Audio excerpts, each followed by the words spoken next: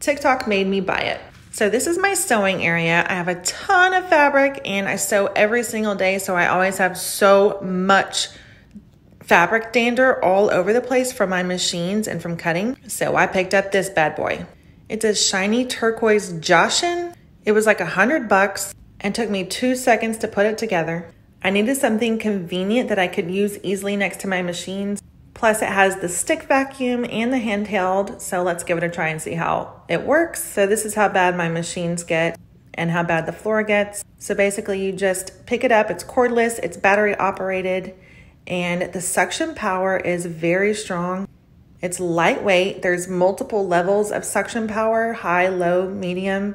And then the stick level is actually very lightweight and it works really smooth. This is so perfect to put next to my machines because it's convenient and it's fast and it's cordless. That's the biggest thing for me with a high suction. It has several different attachments. Just look at how fun this is.